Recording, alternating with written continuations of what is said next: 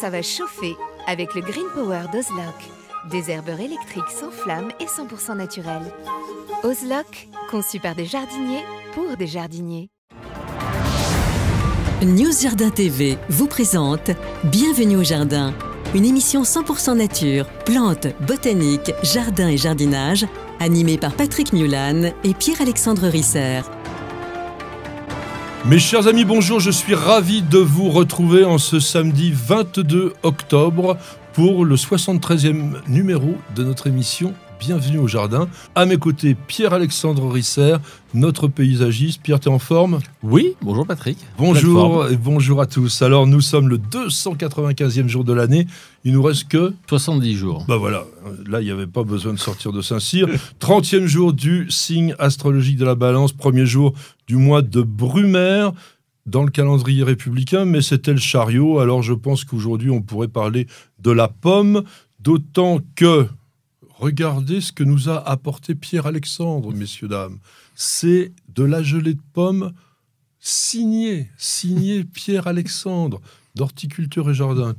Tu, en vends partout en France Je n'en vends pas, je la fais pour moi et pour mes amis, mes clients. J'ai un verger avec des pommes, donc euh, j'utilise mes pommes plutôt pour faire de la gelée. Celle-ci est parfumée à la monarde et à la menthe et on rajoute un petit peu de liqueur de groseille à la fin de cuisson. Eh bien, regardez mes amis, ça démarre très très bien et la pomme, j'aime bien ce petit dicton qui serait bon pour la semaine prochaine qui dit à la Sainte Simone, c'est-à-dire le 28 octobre, il faut avoir rentré ses pommes. Mhm. Oui, parce que là, il est temps maintenant de tout récolter, je pense quand même. Ah ben oui, parce que même les pommes les plus tardives, s'il y a un coup de gel, elles vont pas aimer. On rentre les pommes et ça a l'avantage de pouvoir être mhm. conservé très très longtemps. Mhm. La pomme, bien sûr, c'est vieux comme le monde. Vous savez qu'Ève a croqué la pomme et que de ce jour, on n'a plus le paradis sur terre, mais on va essayer de le faire avec nos jardins qui sont, comme tout le monde le sait, des petits paradis. Alors, la pomme, ou du moins le pommier, est originaire du Kazakhstan. Mmh. C'est quelque chose qu'on n'a pas découvert il y a très longtemps, il y a peut-être une petite dizaine d'années, et c'est aussi le fruit le plus cultivé en Europe. Et c'est la raison pour laquelle la dente, c'était pas un pommier, hein. c'était un figuier. C'était un figuier Ben oui, parce que la pomme, elle n'existait pas au Moyen-Orient à ce moment-là. Ah, bah, j'ai même pas pensé. Non, mais c'est vrai, comme le jardin des Hespérides avec les pommes d'or qui étaient des oranges, évidemment. Pomme vient de pomum qui signifie fruit. D'ailleurs, c'est peut-être pour ça qu'on disait la pomme, parce que pomum, le fruit, donc tous les fruits étaient des pommes. Très, très bien, sous les climats tempérés. Mes amis qui sont à La Réunion, en Martinique et autres régions tropicales de notre pays, que ce soit aussi Mayotte, la Martinique, etc., pas de pommier, puisqu'il a besoin d'une période de froid, une dormance, à la fois pour sa croissance, mais également pour induire ses fruits. Au niveau alimentation, c'est super, on fait tout avec la pomme. Un fruit qui se garde très longtemps, qui est facile à manger, facile à conserver. Vous pouvez garder une pomme à mois au frigo. Alors bien entendu, elles sont meilleures euh, quand on les cueille sur l'arbre à maturité, mais enfin, ça dépend lesquelles. Oui, oui, de longue conservation, il faut, attendre un peu. J'ai ramassé des pommes pendant toute mon enfance et je pourrais me nourrir à l'automne que de pommes pendant toute la journée. Quoi. Bah, tu pourrais presque te nourrir entièrement de pommes parce que c'est un fruit extrêmement équilibré, mm. qui est pas trop énergétique. On a 54 kilocalories pour 100 grammes. On est à la fois désaltérant, rafraîchissant, riche, riche en oligo-éléments, notamment en potassium. C'est le fruit coupe-fin par excellence. Une chose que j'ai toujours bien aimé citer, c'est Monsieur Churchill qui disait Une pomme par jour éloigne le médecin mmh. à condition de viser juste. Parce qu'en fait, on a longtemps considéré que la pomme était l'idéal pour pouvoir être euh, vraiment en forme. Est-ce que c'est vrai 100% Peut-être, parce que ça aide aussi au fonctionnement intestinal, etc. On va se faire un petit top 10 des meilleures variétés pour le jardin. Mhm. Qu'est-ce que tu nous donnerais? Dans ton coup de cœur J'aime beaucoup la reine des rainettes, la coque orange. C'est un peu mou, coque orange. Ouais, j'aime bien. Et en fin de saison, tout ce qui est euh, rainette du Mans, rainette du Canada. Puis après, il y a la pomme aussi pour les compotes et pour les tartes. Et c'est vrai qu'on était un peu frustré étant enfant où, dans les années 70, c'était la golden qui était la reine de la pomme et il n'y avait euh, pas toutes les variétés qu'on trouve aujourd'hui dans le commerce. Hein. Malheureusement, il y a aujourd'hui des variétés dans le commerce qui ne sont pas disponibles pour les jardiniers. Mmh. Par exemple, Pink Lady. Mmh. Je l'aimais bien, mais depuis, j'ai découvert Jazz. C'est pour moi la meilleure pomme que j'ai jamais mangée. Pour quelle raison? Parce que c'est une pomme qui est à la fois ferme, alors il faut aimer ferme. Mm. pour ça, quand tu m'as dit cox orange, j'aimais pas trop mm. parce que c'est mou. Mais ferme et très juteux. Mm. et goûteux. Manque de chance, jazz, c'est réservé uniquement aux professionnels, on ne peut pas le cultiver. Alors pour les jardins, moi je vais vous dire un peu mon top 10 par ordre de maturité. Delbar estival, Mhm. la première, la plus précoce, fin août. Allez un petit peu acidulé, il y a un peu de fenouil, d'anis, c'est un peu anisé. Bon, c'est une très jolie pomme, hein, elle est jaune, striée de rouge orangé, belle grosse pomme, assez tolérante à la tavelure, donc c'est bien, on va pas être obligé de la traiter. Et elle peut être vraiment dans toutes les régions et pratiquement toutes les formes. Pollinisateur, on a les variétés d'Elbar, Cybèle, Tentation et, et Jubilé qui sont vraiment des bons pollinisateurs pour Delbar estival. Une variété qu'on voit bien dans le commerce régulièrement, qui a été créée par l'INRA et qui est un croisement de Golden avec Renette Clochard, c'est Belchard, Mhm. qu'on appelle aussi Chanteclair. Tu l'aimes celle-là? Oui, j'aime bien ça. Maturité septembre, Mhm. conservation jusqu'en novembre. C'est un fruit un peu aplati, jaune foncé, tacheté, une chair assez fine, plutôt croquante au début de sa maturité. Gros avantage, ça fleurit tard et donc ça résiste au gelé de printemps. Dans les régions qui sont un peu à l'est, par exemple, c'est pas mal. En revanche, en revanche, c'est sensible au chancre, mais c'est résistant, ou du moins un peu, à la tavelure et ça alterne pas. Avec une Golden Delicious, par exemple, ou Gala, vous allez pouvoir le polliniser. La Reine des Rainettes, t'en as parlé. Alors, ce qui est bizarre, c'est une très très vieille variété. hein. C'est 1770, la création de Reine des Rainettes. J'ai l'impression que c'est une variété qui a évolué au fil des années, que la Reine des Rainettes d'aujourd'hui, c'est pas celle qu'on avait quand on était gamin. C'est peut-être parce que les souvenirs d'enfance sont toujours plus forts que le Mhm. reste, mais je trouve qu'elle est moins bonne aujourd'hui qu'elle était dans mon idéal. C'est vraiment la pomme pour faire les tartes, cuire au four. C'est ferme, juteux, croquant, sucré. Je crois quand même que la compote de Reine des Rainettes, Ah, c'est ce qu'il y a de mieux. Donc Golden Delicious aussi, Melrose par exemple, sont des bons pollinisateurs. Mhm. Elstar, c'est une variété qu'on trouve beaucoup aujourd'hui. Bon, c'est sucré, acidulé, mais c'est une, une variété sensible aux maladies. Je voulais vous la dire comme ça parce qu'elle est belle. C'est des grosses, grosses Mhm. pommes jaunes striées rouges.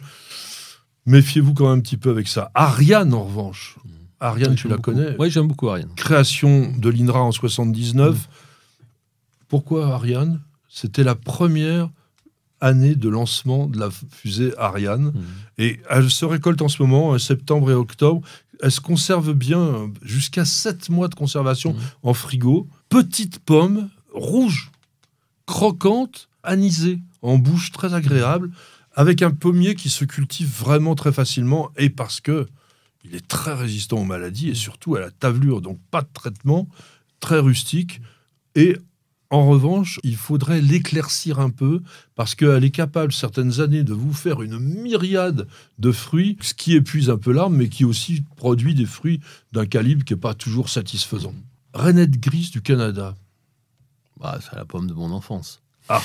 Qu'est-ce qui t'en reste? Moi, j'ai une vision, une idée euh, bien précise de Canada, c'est la pomme au four. Ah bah oui. C'est la Hmm. pomme, parce que c'est pas très bon, je trouve, à manger au couteau. Bah, la chair, elle est farineuse. Oui, il y a un moment, voilà, il y a un moment pour la manger, mais c'est vrai qu'aujourd'hui, on est plus attiré par des pommes qui sont croquantes, juteuses, voilà. On est moins attiré par ces pommes de longue conservation et qui ont des chairs qui ne sont pas juteuses parce qu'elles se conservent très longtemps, quoi. Comme la rainette du Mans, la rainette du Canada. Je pensais que tu allais me parler du sirop contre la toux, le sirop de pomme rainette. Ah non, je connais pas du tout. Je connais T'as pas, pas du eu ça quand t'étais enfant Pas du tout. Moi, j'adorais. J'allais en cachette à la pharmacie boire du sirop de pomme rainette tellement c'était bon. Bah, au moins, comme ça, t'as pas de tout. Pour revenir à Rainette Grise du Canada, on enlève le cœur, Hmm. on met un peu de beurre, on met au four, parce que la peau, quand elle n'est pas cuite, elle n'est pas bonne, elle est Hmm. épaisse. Hmm. Mais une fois cuite, ça devient croquant. Enfin, c'est vraiment génial pour ça. Mais que pour ça. Golden Delicious, on peut pas passer à côté, mais tout le monde dit, oh, la Golden, etc. Mais attendez, une Golden de jardin, récoltée bien à maturité, ça n'a rien à voir. C'est ça qui est important. J'ai ramassé des golden, j'en ai ramassé des tonnes, et la golden n'avait aucun goût. La golden qu'on avait à la cantine à l'école, c'était vraiment pas bon. Par contre, la golden qui a poussé en haut de l'arbre, en plein soleil, ramassée à la maturité, elle est extraordinaire. Elle est extraordinaire. Voilà. On m'avait dit que c'était un prêtre, un curé qui avait trouvé cette variété près d'un tas de fumier qui avait poussé naturellement. Je ne sais pas si c'est vrai, c'est une légende. Il faudra qu'on vérifie. Bah, écoute, je sais pas, en tous les cas, c'est la variété qui reste la plus cultivée dans notre pays. Une variété de Delbar, encore Delbar Jubilé, qui date de 64, qui se récolte fin octobre, donc à partir de maintenant, Mhm. mais qui va mûrir jusqu'en février-mars quand elle est au frais. Jolie pomme, pareil, jaune et rouge. Alors, c'est très bon. Faut dire que les variétés de Delbar, elles ont été vraiment travaillées pour le goût. C'est ouais, c'est subtil comme goût. Moi, j'aime bien. Avec Reine des Rainettes, ça se pollinise très, très, très bien. Et surtout, si vous voulez être avec des formes palissées quand on n'a qu'un tout petit jardin, c'est vraiment une variété qui s'adapte très, très bien en palmette. Il faut aussi l'éclaircir parce que c'est pareil, elle fait beaucoup, beaucoup de fruits et mieux vaut limiter. Melrose, qui est une variété qui a été obtenue aux États-Unis en 1937, qui est un croisement entre Jonathan et Red Delicious. Ça fait un gros fruit avec une partie rose ou rouge, très parfumé, juteux, sucré, un peu floral. À partir de mi-octobre, on la récolte, mais on peut la laisser longtemps sur l'arbre, Mhm. Melrose, parce qu'il faut la consommer le plus tard possible, entre décembre et avril. Résistant au feu bactérien, mais sensible à la tavelure. Et puis je terminerai avec un fruit que moi j'aime pas beaucoup, mais qui est pourtant très très populaire, c'est Granny Smith. Ouais, c'est presque plus un fruit de déco qu'un fruit à manger. Bah, on est un peu d'accord, parce que c'est très acide. ou alors en cuisine, tu vas t'en servir pour faire des tartares. C'est-à-dire que tu vas prendre de, de la Granny Smith en tout petits morceaux que tu vas mélanger avec du poisson cru. La faire sauter à la poêle Ouais. avec du boudin noir. Je sais pas. Moi, je préfère les rainettes dans ces cas-là.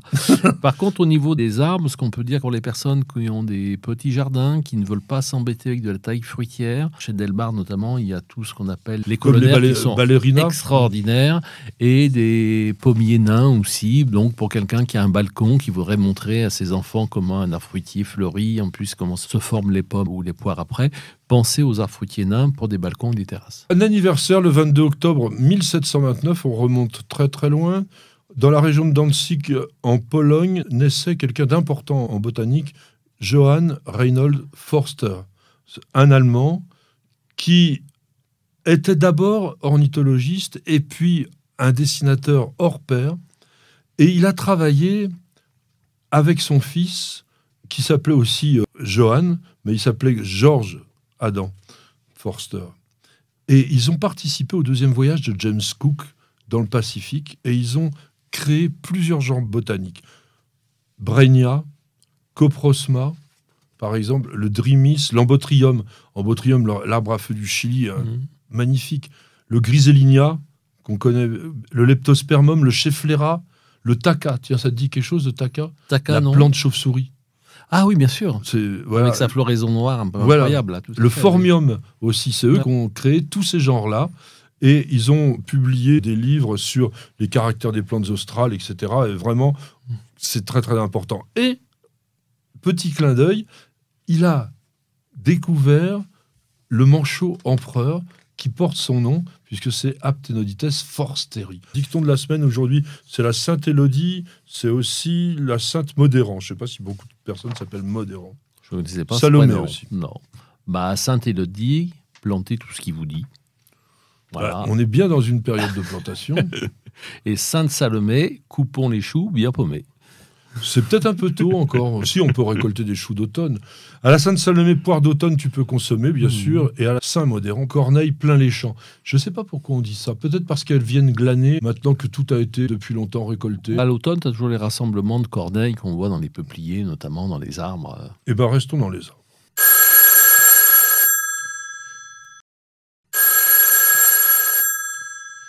Nicole, Que dit Nicole c'est pas la mienne, mais Pourquoi est-ce que mon Ilex crenata a formé brusquement de petites branches marron Que faire pour éviter ce problème?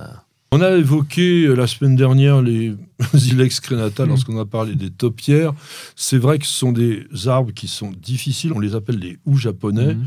qui ont été et qui sont d'ailleurs très utilisés aujourd'hui en remplacement du buis. Notamment, il y a des variétés Mm. comme Dark Green qui sont très compactes. Le problème de cette plante, ça ne supporte pas les fortes chaleurs. Je dirais que ça ne supporte pas les chaleurs sèches. Oui. C'est une plante qui a besoin d'humidité atmosphérique et vous avez beau l'arroser, si vous avez une chaleur sèche, les branches vont devenir marron, la plante va se dessécher. Si vous habitez euh, chose où il y a de l'humidité atmosphérique, Bretagne. les plantes en Bretagne, les plantes peuvent tout à fait se développer, mais dans des climats qui sont, on va dire, plus continentales, semi-océaniques, semi-continentales. Pour ma propre expérience, je ne connais pas un jardin à Paris avec un joli Ex Crenata.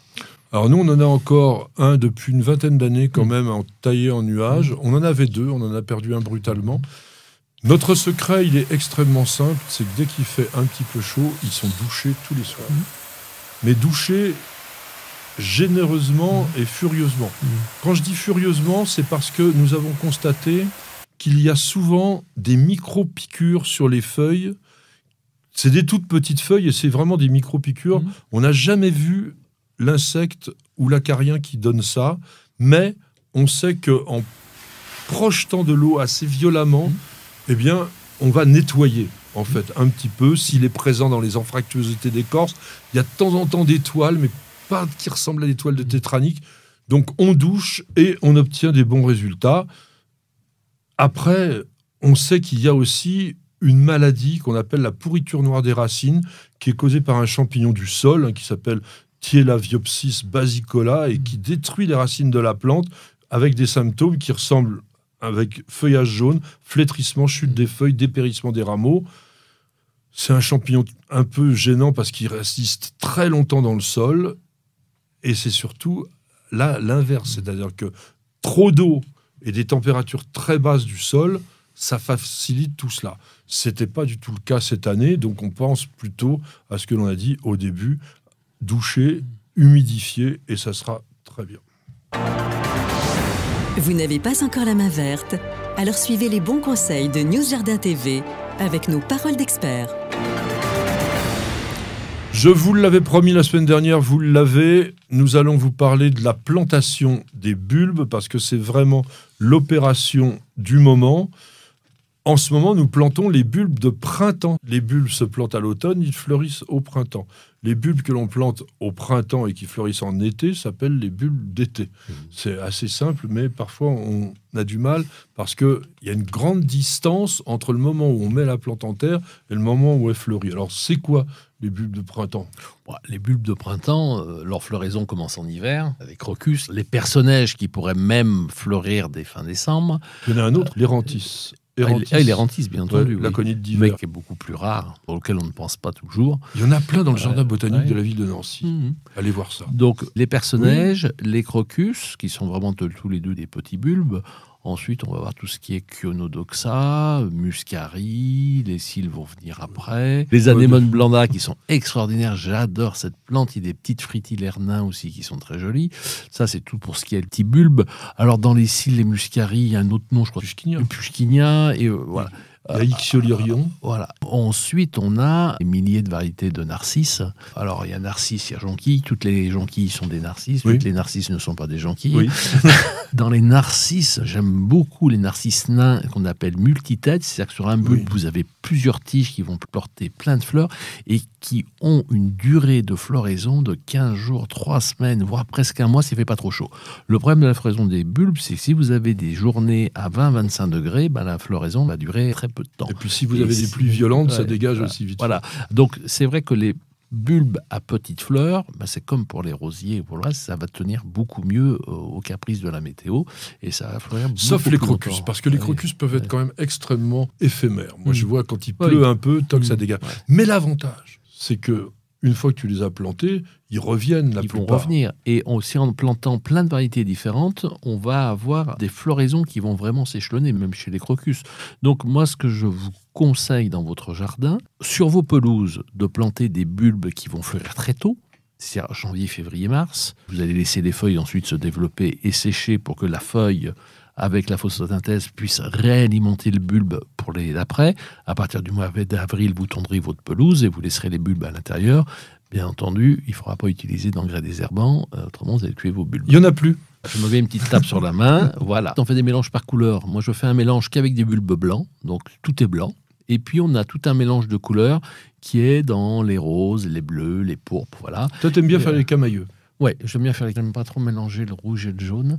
Le seul jardin rouge et jaune que j'adore, c'est le jardin plume. Je trouve que le jardin estival, il est extraordinaire. Je sais pas comment ils font. Dans les plantes vivaces, plutôt des bulbes de moyenne taille. Et après, sous les arbustes, eh ben, on va planter des narcisses qui vont être de, taille un peu plus importante. J'aime bien les narcisses. Enfin, quand on plante des bulbes, il faut être généreux, quoi. Bon, c'est par dizaines, c'est par centaines. Depuis par- tout à l'heure, tu n'as pas cité La tulipe Bah oui. Bah non, je vais après. Ah j'ai- c'était pour le dessert. Je vais après, parce que si tu veux, tout ce que j'ai cité pour l'instant, c'est des bulbes que vous allez laisser en terre et qui vont repousser d'une année sur l'autre. Oui. Et si les mulots, les sangliers, vais vous foutre la paix, Le narcisse, le bulbe est toxique. Mm. Et nous, on l'a vu, des sangliers qui avaient dévasté complètement Mm. tout un terrain, la bande de narcisses Mm. était intacte.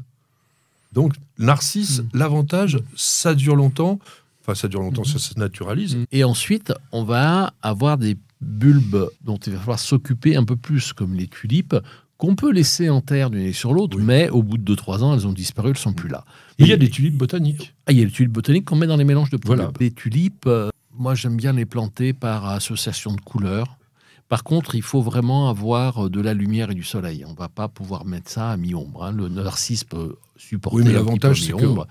À l'époque de la floraison des tulipes, le feuillage est généralement Ouais. pas encore là. Mais tu les plantes pas plein nord, enfin voilà, voilà, c'est plus difficile. Ça c'est pour le jardin, donc les tulipes, on va les mettre dans des endroits et on sait qu'il faudra replanter régulièrement ces tulipes. Les iris de Hollande, Les grises de Hollande, c'est, je trouve que c'est un petit peu factice. ça claque. Oui, oui, bien Mais c'est ça qu'on a besoin Ouais. quand même aussi. Parce que là, tu nous fais quelque chose de gentil.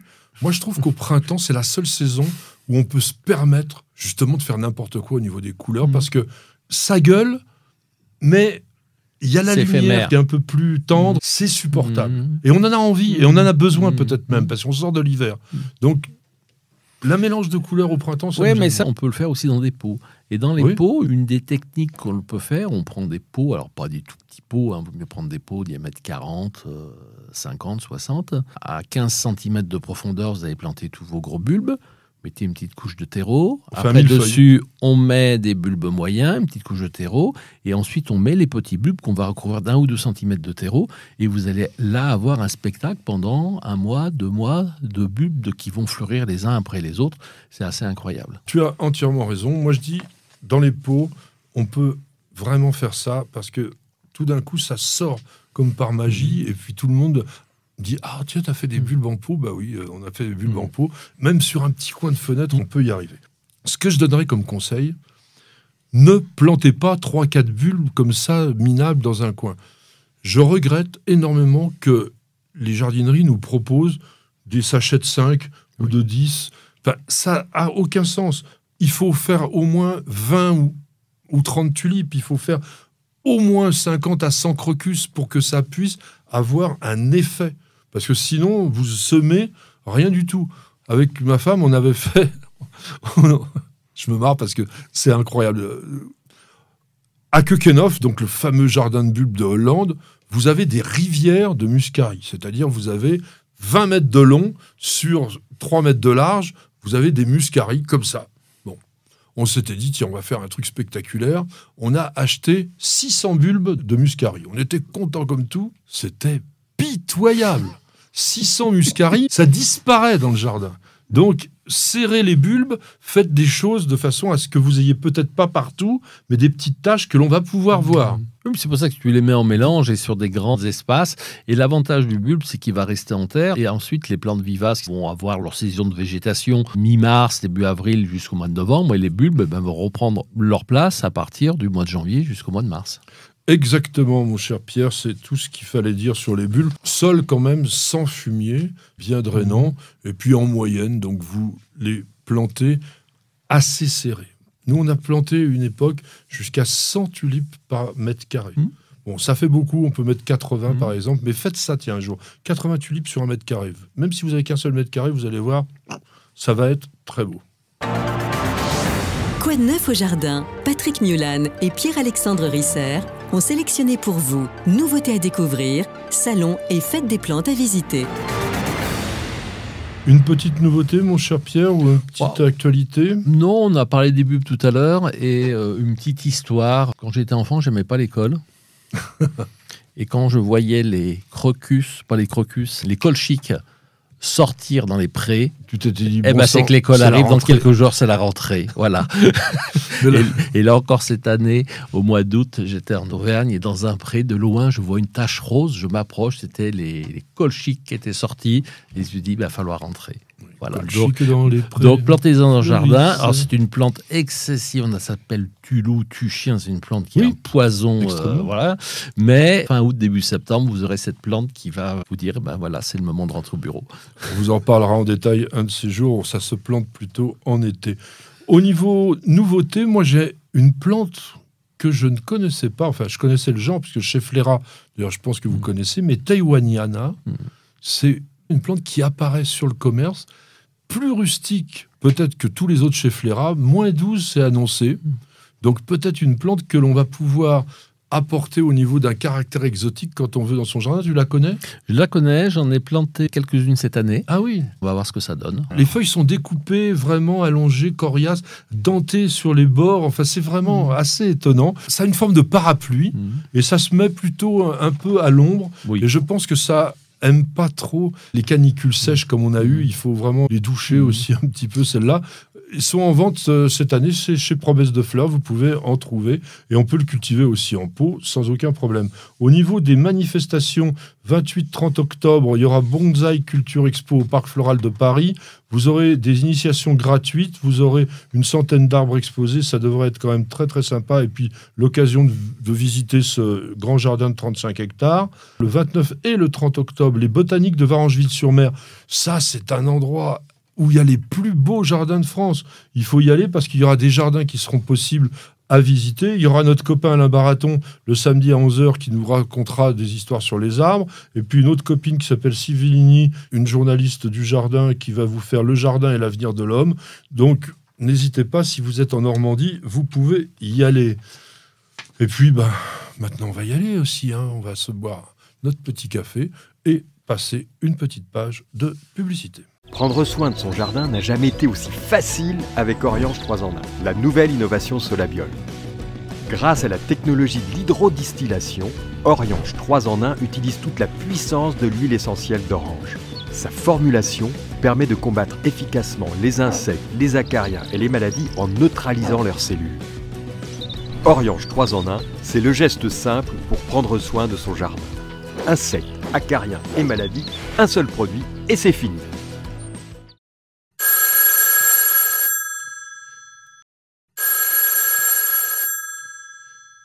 André, André nous demande une recette. Avez-vous une recette de lustrant pour plantes d'intérieur à pulvériser en substitution des bombes de silicone vendues en jardinerie? Bah, le truc tout bête, hein, c'est carrément, vous prenez un chiffon, vous mettez de la bière avec de l'eau, même de la bière pure, quand on a en plus des insectes, des cochenilles, des choses comme ça, ça les nettoie Mhm. et ça brille les feuilles. Mhm.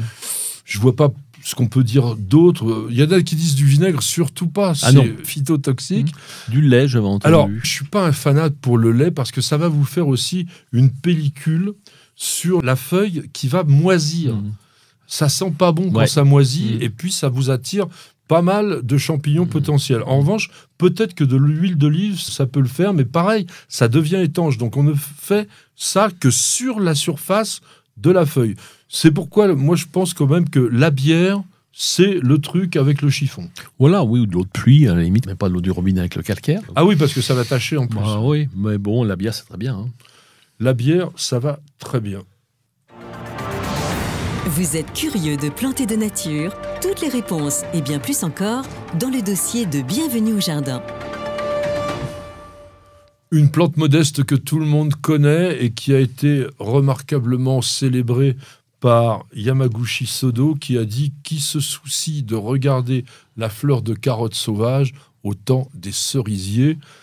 On va vous parler de la carotte qui est un des légumes le plus cultivé et pourtant on aurait pu espérer qu'un botaniste euh, veuille porter le nom de la carotte. Ben non, ça s'appelle Docus carota et c'est comme cela, c'est une plante modeste, mais qui est quand même une plante extrêmement cultivée. Le second légume consommé chez nous, derrière la tomate. On en consomme plus de 10 kilos par an par personne, pas moi.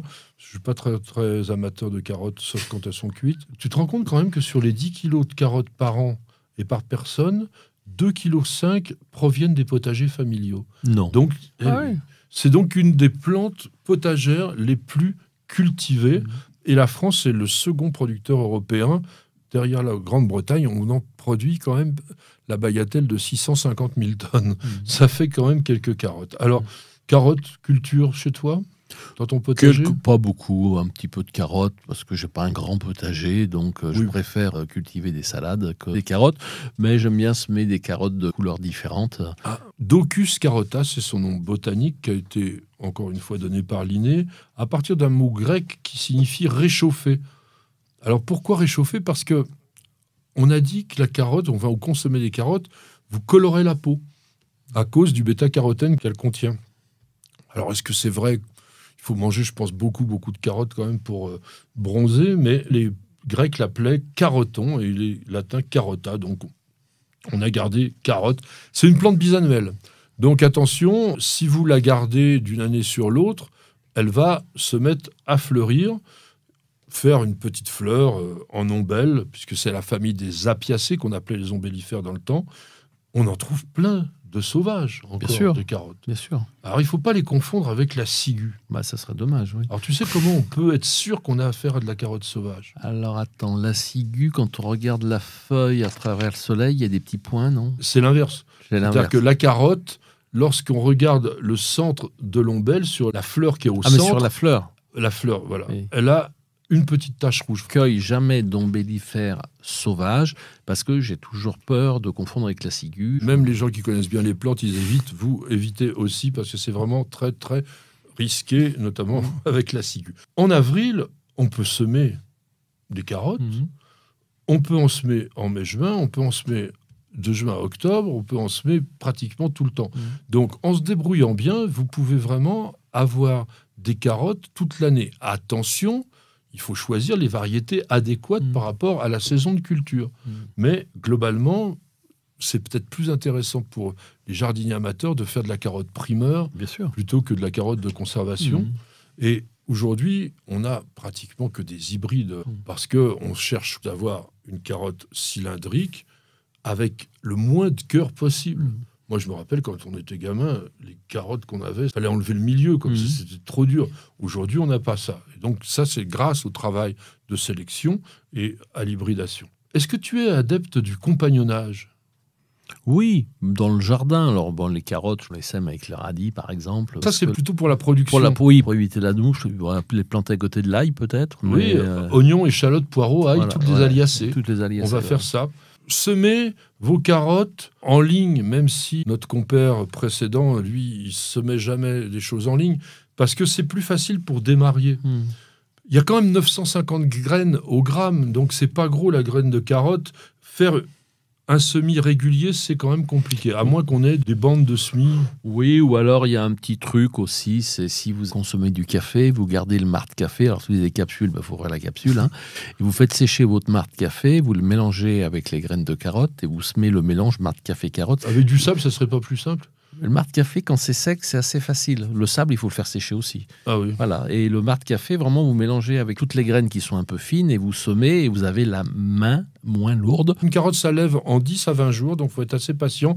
Et il vous faut environ 60 à 80 jours avant de les récolter.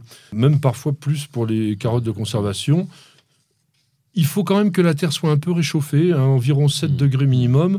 Et puis, une fois semée, éclaircir. Lorsque les plantes, elles sont environ de 6-7 cm, on laisse 2-3 cm. Alors en général, vous faites deux doigts comme ça, puis vous laissez chaque carotte entre les deux doigts. Biné parce que ça aime pas tellement la concurrence avec les herbes indésirables, les- enfin les herbes sauvages. Le sol doit être bien riche, frais, drainé, sableux, profond si possible, pas caillouteux, parce que sinon vous avez des carottes qui sont fourchues ou qui sont toutes tordues. Les carottes nantaises, climat doux, humide, cultivées dans du sable la plupart du temps. Oui, oui. Aujourd'hui, on trouve même dans le commerce des toutes mini carottes bouillantées à l'eau. C'est très bon. Les bocaux avec euh, les petits pois. On a des carottes qui sont grandes comme ça, Mmh. avec 3-4 cm, Mmh. et c'est très très bon. Mmh. Ennemi et maladie, donc on a dit la mouche de la carotte, donc essayez le compagnonnage. Sinon, c'est quand même compliqué. Aujourd'hui, on ne peut pas vraiment le traiter. Attention, la mouche de la carotte, elle aime aussi le persil, le panais et le céleri. Donc on ne cultive pas ces plantes-là à proximité de la carotte. Il y a aussi des risques d'oïdium quand il fait chaud et sec. Donc arrosez bien vos carottes. De toute façon, elles seront beaucoup, beaucoup plus tendres. On a parlé du bêta-carotène, puisque c'est ça qui permet de donner cette coloration éventuellement. On appelle ça aujourd'hui la vitamine A, la provitamine A, puisque en fait le bêta-carotène est transformé en provitamine A, et ça permet d'améliorer nos défenses naturelles, prévient a priori le vieillissement. Alors je ne sais pas si c'est 100% vrai, on dit même que ça joue dans la prévention de certaines maladies cardiovasculaires. En tous les cas, la carotte, tout le monde le sait, c'est bon pour la santé. Et lorsque les carottes sont cuites, vous savez que c'est la fin des haricots. Et on dit que ça rend aimable. Alors on dit que ça rend aimable, mais on dit aussi la carotte ou le bâton. Marcher Oui, à la carotte, c'est à la carotte, oui, avoir ça- envie de, de quelque Bah, chose. marcher à la carotte, ça vient pas de qu'on mettait une carotte devant le Devant âmes, devant ouais. l'âne pour le faire pour le faire avancer. C'était horrible. Et on a tiré la carotte. C'est simulé, c'est tiré au flanc. Et une carotte aussi, c'est carrément une escroquerie. Quand on se fait carotter. Et la carotte, c'est l'emblème des bureaux de tabac, la carotte de tabac. L'emblème, c'était les feuilles de tabac qui étaient roulées, on appelait ça une carotte de tabac, Eh ben, à cause de la forme, je crois. voilà. Au moins, on aura appris quelques petites choses.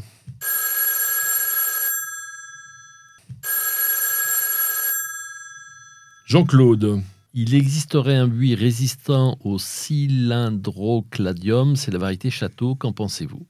La variété château dans le buis, qui est d'ailleurs un buis suffruticosa, Mhm. qui est la forme qu'on utilisait en bordure, c'est le tout petit buis avec toute petite feuille, Mhm. qui est le plus sensible à la fois à la pyrale et à la fois au cylindrocladium, n'est pas vraiment considérée comme résistante. Cette maladie, d'ailleurs cylindrocladium buccicola, a changé de nom. Je ne sais pas pourquoi, mais elle s'appelle maintenant Calonectria pseudonaviculata. Comme ça, vous aurez aussi appris quelque chose. Elle est en France depuis peu de temps, 2003 seulement. Elle est arrivée en Belgique en 2000. Ça forme des taches brun foncé sur les feuilles qui finissent par recouvrir l'ensemble de la feuille. Ça se strie de noir au niveau des tiges. La défoliation est très importante. Et puis, donc, on a l'impression que la plante, oui, euh, elle se déplume complètement. Au niveau de la recherche de résistance au cylindrocladium, il y a des variétés d'origine américaine qui ont été introduites en Europe en 2021, donc il n'y a pas- longtemps, par une pépinière belge qui s'appelle Airplant. H-E-R-P-L-A-N-T. Il y a quatre hybrides qui s'appellent Héritage, Babylon Beauty, Renaissance et Skylight, qui ont été notamment plantés dans les jardins de Villandry et qui ont donné de très très bons résultats par rapport à cette maladie qui était extrêmement présente à Villandry.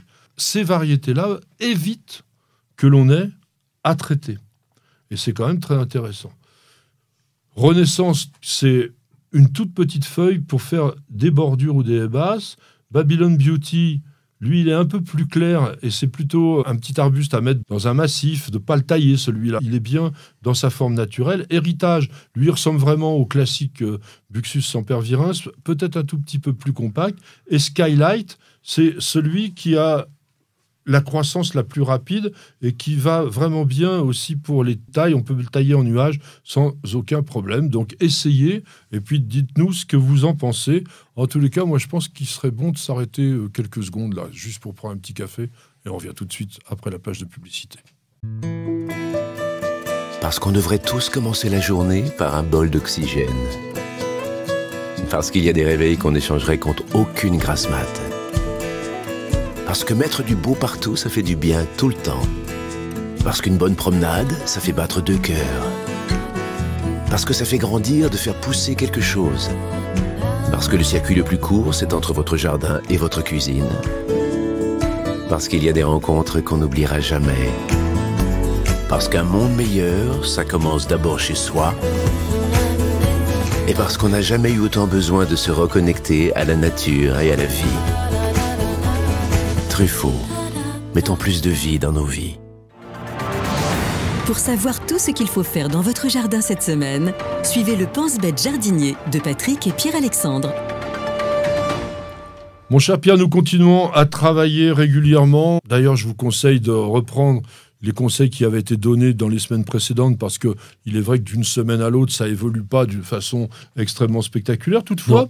par exemple, au potager, on peut commencer les endives. Oui. Alors, faut déjà avoir semé les racines de chicorée Whitloff. Bah, exactement. C'est une galère. Hein. Et puis, il faut savoir le faire. Voilà, c'est Ah, on veut savoir le faire avec les hybrides d'aujourd'hui, c'est facile, Mhm. mais sauf qu'il faut savoir quand même qu'une chicorée Whitloff, ça vous prend bien 50-60 cm de large Mhm. avec le feuillage, que la racine, elle va vous faire 40 cm, qu'il vous faut donc une grosse fourche bêche pour Mhm. l'arracher. Après, il va falloir couper tout ça et puis le mettre à forcer. Bon. On peut s'amuser à faire des endives si on est un potagériste forcené. Mhm. Quand on est un jardinier plutôt urbain, je crois qu'on évite un peu ça. Je sais pas si toi tu procèdes à ça, mais les roses de Noël, les élébores, Mm. on les a jamais à Noël. Pour les avoir, il serait bon de mettre une cloche dès maintenant. Bien sûr. Aujourd'hui, il existe des cloches en matière plastique qui sont... Qui sont intéressantes euh, parfois, mais il y en a des jolies aussi ouais. en verre. Si la tondeuse jette un petit caillou contre la cloche en verre ou quoi que ce soit, ça fait mal au cœur quand même. Ah bah oui. C'est la période d'élagage des grands arbres. Faites appel à un professionnel si vous avez besoin de faire réduire la dimension de vos grands arbres, si ils menacent certains bâtiments par exemple, ou s'ils sont trop touffus. C'est un travail qui est difficile, périlleux, et donc je vous conseille pas, même si vous êtes jeune, en pleine santé, de vous y mettre vous-même, d'autant plus que manier une tronçonneuse euh, quand on est accroché à un arbre, C'est vraiment très dangereux. Alors, ce que vous pouvez faire, c'est acheter une scie avec un manche télescopique de 5 à 6 mètres et d'être sur le sol et de couper les branches à une certaine hauteur si vous voulez. Mais autrement, faites appel à un professionnel et faites attention que le professionnel auquel vous faites appel ait bien les assurances adéquates, qu'il n'y ait pas d'accident dans votre jardin. et que ce soit pas un massacreur de plantes. Il y a une association des arboristes élagueurs Mhm.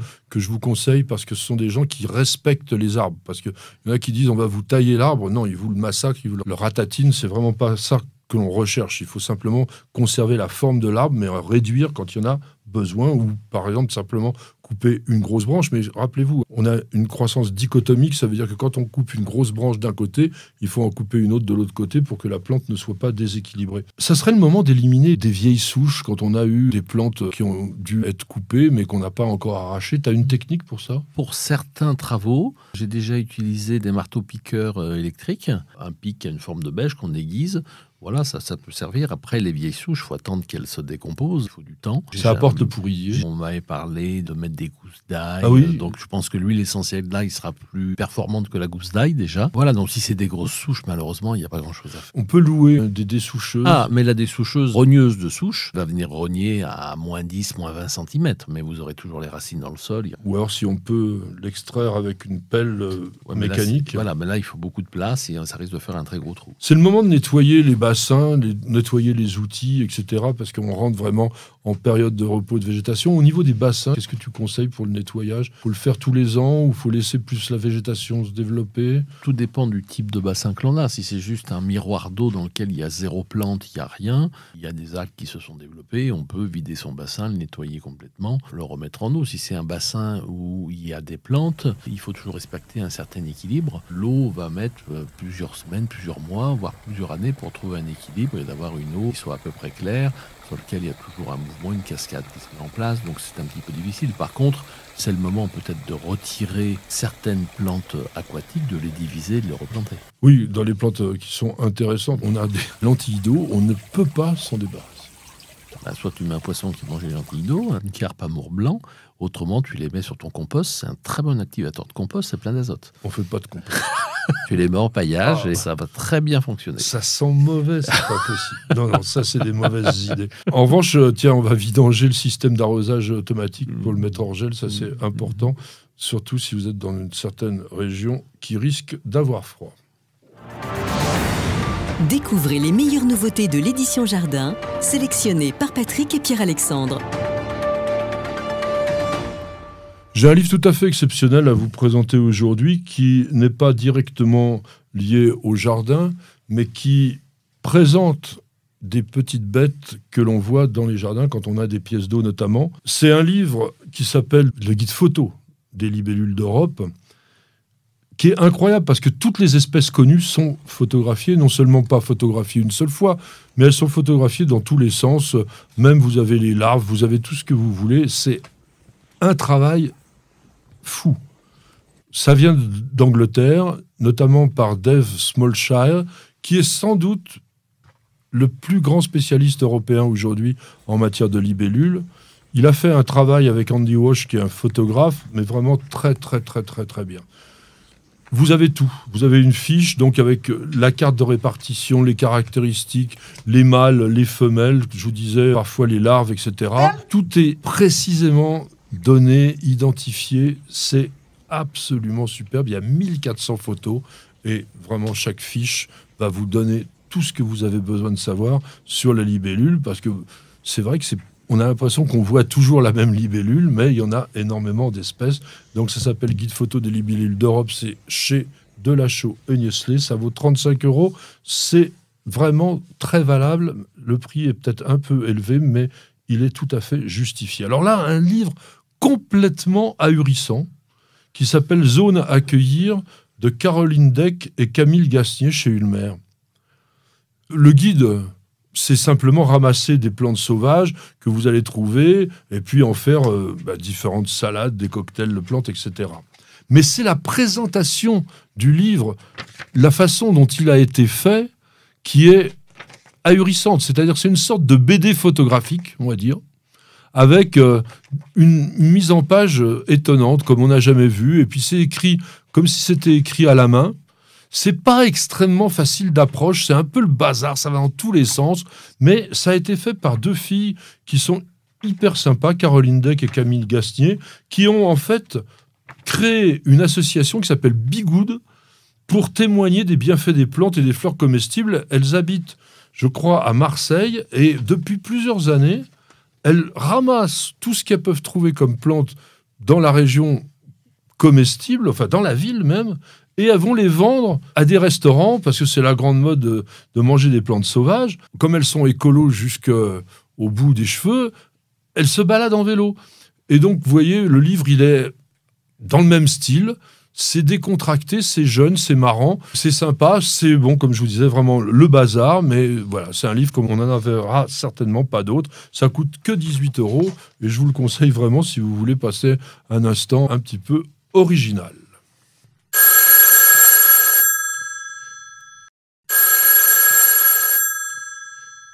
Décroissance. Qu'est-ce qu'elle nous dit, décroissance? Les fruits de l'arbre de Judée sont-ils comestibles? On sait que les fleurs de l'arbre de Judée sont comestibles exactement comme celles de l'acacia, du robinier. On peut en faire des beignets. Les graines, je ne sais pas. Et les fruits, il n'y a pas d'intérêt particulier. Alors attention quand même que les graines contiennent de la canavanine. C'est un acide aminé qui peut légèrement troubler la digestion. J'ai cherché par tous les moyens de trouver des recettes éventuelles de fruits d'arbres de Judée et de graines d'arbres de Judée. J'en ai pas trouvé. Donc je dirais, quand on ne sait pas, on s'abstient.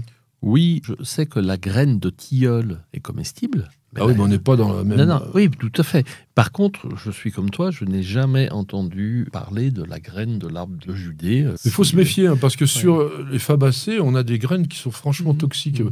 Si ça se mange pas, si on ne le voit pas habituellement, pourquoi essayer de manger des trucs dont on n'a pas besoin Ce qu'il faut faire attention aussi, c'est que dans la graine, il y a beaucoup plus de principes actifs qui sont beaucoup plus forts. Par exemple, la graine du laburnum, ce qu'on appelle la ah non, ça, vous, en, vous, en, mangez trois graines, ah vous êtes mort. Voilà. Euh, alors que si vous mangez une feuille, un petit bout de feuille, vous allez, même une feuille d'arbre, quelle qu'elle soit, vous n'allez pas mourir parce que vous allez manger 3 cm de feuille. Par contre, sur la graine, il faut vraiment faire très attention. Donc là, euh, je déconseillerais d'essayer, en tout cas. Euh, par contre, abattez-vous sur les graines de tilleul. Oui. Il y, a des tas d'autres graines qu'on mange communément. Vous savez, par exemple, des noix, des noisettes. Euh, voilà, on peut manger des graines euh, agréables, des amandes, sans avoir à aller chercher les fruits. Impossible. Patrick, Pierre-Alexandre, racontez-nous une belle histoire de plantes, de jardin ou de jardinier. On parlait de graines avec euh, l'arbre de Judée. on va rester là-dedans avec la botanique des graines, je dirais. Parce que c'est assez mystérieux, la graine. C'est quoi déjà la graine? D'où ça vient? Bah, La graine, c'est la vie. Ah, la graine, c'est la vie. C'est la petite graine. bah oui. Non, mais euh, qu'est-ce que c'est que la graine? Non, mais, comment elle arrive? On regarde les fleurs, on regarde les champignons, sans dire que ce sont des organes sexuels. Oui, bien sûr. Simplement, les plantes se reproduisent de cette façon-là. Voilà. Et que la graine, eh ben, c'est parce qu'il y a eu une fécondation. Voilà. Voilà.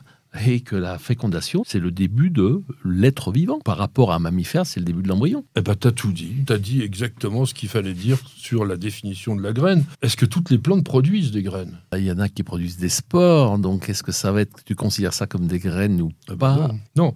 Les plantes qui produisent des graines sont ce qu'on appelle des spermatophytes. Mm. Sperma, c'est graine en latin. Mm. Ou ce qu'on appelait dans le temps des phanérogames. Mm. C'est-à-dire, d'un côté, on a les gymnospermes, Mm. c'est-à-dire ceux qui ont des graines qui sont portées par des écailles ou un cône, Mm. comme les conifères, les cycas, les ginkgos. Et puis, on a les angiospermes, les plantes à fleurs, Mm. comme tu viens de décrire, où on a la fleur qui a été fécondée et qui donne un fruit dans lequel il y a la graine. Voilà. Et ça, c'était il y a 400 millions d'années. Je crois que les premières plantes à fleurs, c'est 150 millions 150 d'années, ce qui est déjà pas mal. Parce qu'avant ces plantes-là, les plantes comme les fougères, ce sont des spores qui... Et la plante inonde l'univers de ces spores en disant ben, ça tombera ou ça tombera. Si ça tombe au bon endroit, tant mieux, ça marchera.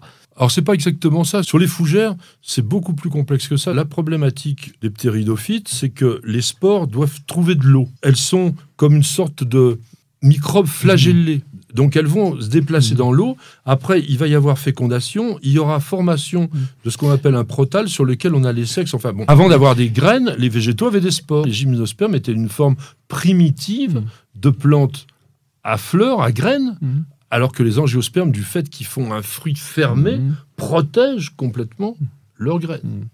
La graine, elle se forme après la fécondation de l'ovule, et cette fécondation de l'ovule forme le fruit qui, comme je viens de le dire, protège la graine, mais accumule aussi des réserves qui sont destinées à permettre à l'embryon de se développer. Mhm. De son côté, l'ovule, lui, a vu sa paroi se durcir et se déshydrate pour faire cette graine. Et le fait d'être dur et déshydraté rend encore la graine plus forte par rapport à toutes les agressions qu'elle peut avoir à l'extérieur.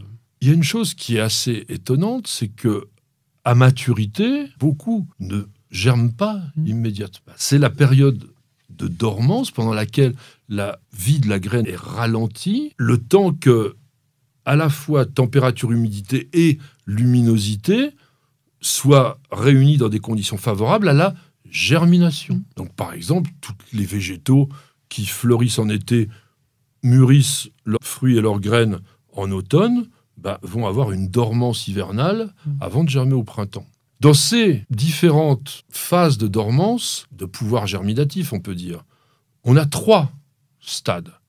On a des plantes qu'on appelle microbiontiques, c'est-à-dire le pouvoir germinatif est très très court, quelques semaines, voire euh, quelques années maximum. Par exemple, un peuplier, c'est six mois. Il y a des plantes où il faut une germination quasiment instantanée. C'est assez facile à voir. hein. Le tégument est très fin, c'est perméable à l'air, c'est agressé facilement. Il y a des arbres qui germent quasiment tout de suite. Le marronnier, il touche le sol, le, le marron se le châtaignier, oui. Le palétuvier, c'est encore pire. La graine commence à germer dans le fruit lorsqu'il est encore accroché à la plante. Là, on appelle ça une plante vivipare et après, ça va se détacher, tomber dans l'eau et germer. Tout simplement parce qu'elle est dans un milieu où si la graine tombe tout de suite, elle peut pousser. Ah bah évidemment. Voilà, on pourrait, pour illustrer, le blé arrive à maturité au mois de juillet, la graine est capable de germer tout de suite. Elle va germer en été, mais elle n'aura pas le temps de refleurir parce l'hiver va Exactement. arriver. Et donc, c'est toute l'intelligence de la plante d'avoir programmé ces graines pour qu'elles puissent se développer au moment où la saison est la meilleure, puisse pouvoir redonner une autre plante qui, à son tour, va assurer en fait la pérennité de la plante pendant des années et des années. Plutôt que l'intelligence de la plante, c'est toute l'adaptation évolutive qui s'est développée au fil des millénaires. Parce que celles qui n'étaient pas adaptées, elles ont dégagé de lieux, on va dire. Mhm. Les mésobiontiques, méso c'est milieu, elles ont un pouvoir germinatif de 2 à 5 ans. Et ça, c'est la majorité des plantes. Mhm. 3 ans pour les radis, 4 ans pour les melons, 6 ans pour la chicorée, etc. Donc c'est un peu plus épais que les précédentes. Mais ce qui est étonnant, même fabuleux, c'est les plantes macrobiontiques, dont le pouvoir germinatif, c'est plusieurs décennies, plusieurs centaines d'années. Cassia fistula, par exemple, c'est euh, une centaine d'années.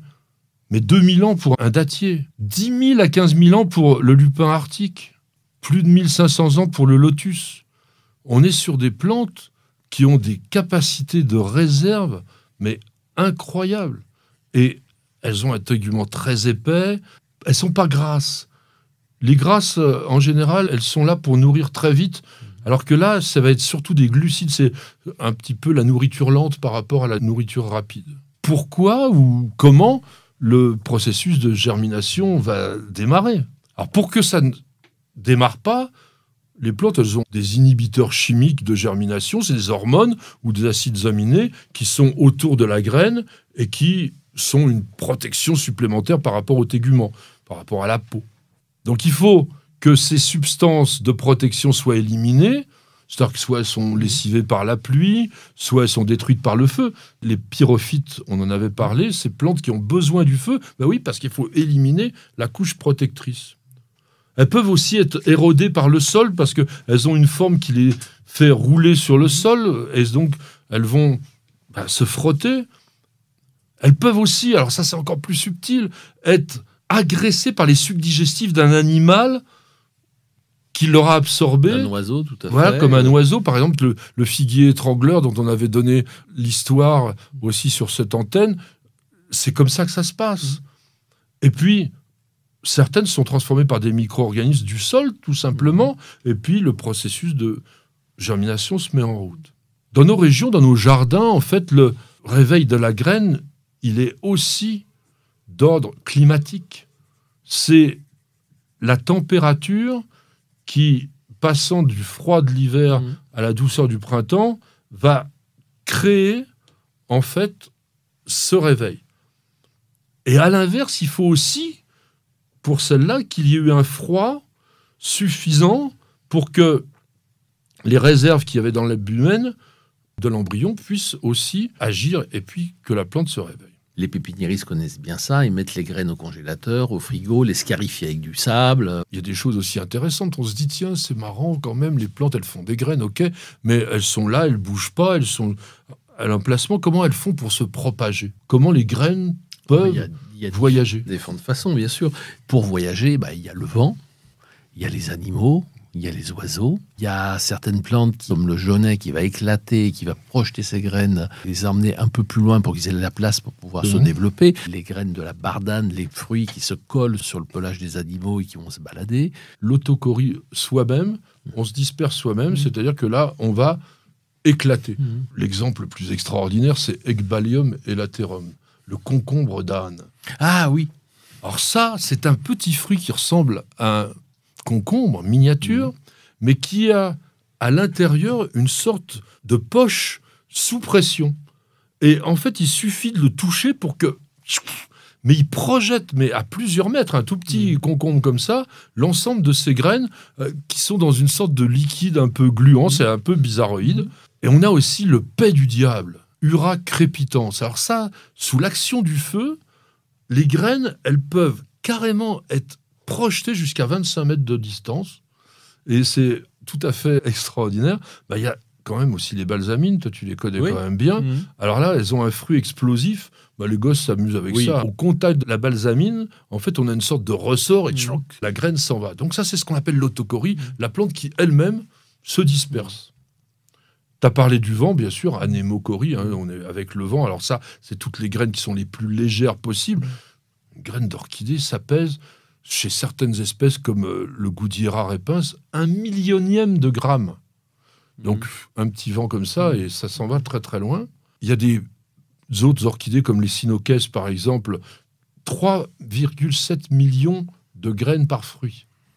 Ah oui. Alors ça part dans tous les sens, et évidemment, il n'y en a pas beaucoup qui arrivent au bon endroit pour germer.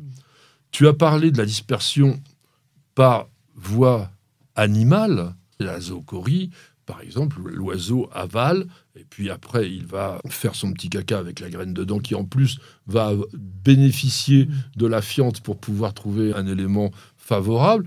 L'exemple de la bardane est très très bien, la bardane qui a permis d'inventer le velcro, Oui, les oui. crochets qu'il y a sur les fruits et les graines. Il y a autre chose aussi, il y a l'hydrocorie. L'hydrocorie, Par l'eau. hydro-eau, Mhm. il y a des plantes qui se transportent par l'eau parce qu'elles sont spongieuses.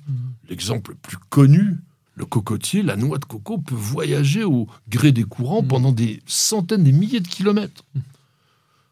Et puis, Eh, le dernier exemple, ben, c'est nous. Ah oui. Tout simplement parce que avec le travail que l'on fait dans le sol, par exemple, on, on va retourner la terre, et bien les graines qui étaient en surface, elles vont se retrouver dans des bons endroits. Mm. Il y en a quelques-unes qui vont se coller sur nos vêtements, dans nos bagages, etc. On a certainement même introduit de façon ultra involontaire Mm. des tas de végétaux parce qu'on avait les graines qui étaient collées sur nous. Et puis, bon, bah, il y a quand même aussi des introductions, des dispersions volontaires par les botanistes et les jardiniers, parce qu'on s'est dit, tiens, cette plante, elle est jolie, on va essayer de la cultiver, et puis ça marcherait.